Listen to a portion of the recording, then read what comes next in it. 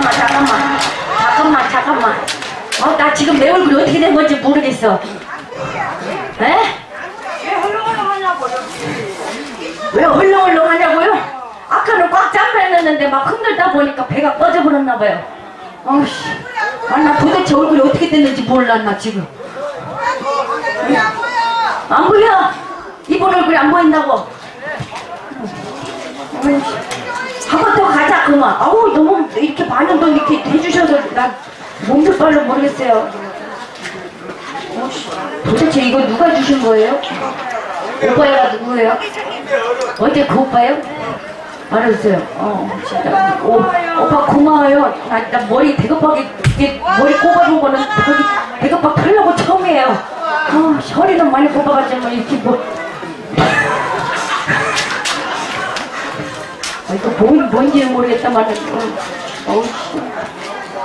그만 보는 게 좋을 것 같아요. 이러다가 진짜 초벌집 되게 생겼어요. 이거 머리 꼭 그거 있잖아요. 우리 조, 조상집 가면 머리 대가방에 쓰는 거. 꼭 그거 같아. 오, 잠깐만, 나 대, 왜 가슴에도 넣고 난리요? 어, 안 그래도 없는데 더 넣으시고. 어. 여기서 저러면 안 되는 거죠? 아무튼 어, 너무너무 고맙습니다. 네. 대신에 또 큰 돈 보태주셨는데 또 이렇게 그냥 들어가면 안 될 것 같아요. 네. 그래서 네. 그걸로 가는 거야? 어, 어, 그래. 그러면은 아무거나 노래 한곡 더 하고, 저가 제가 길어질수록 뒤에 분들은 더 길어져요. 그러니까 저는 한 곡만 더 하고 그렇게 들어가도록 하겠습니다. 네. 어. 하, 여러분들 고맙습니다. 여러분들의 사랑이 저희 품바님들에게는 엄청나게 큰 힘입니다. 네. 그래서 저를 못하고 대급방만 수구리 경례 하도록 하겠습니다. 가자!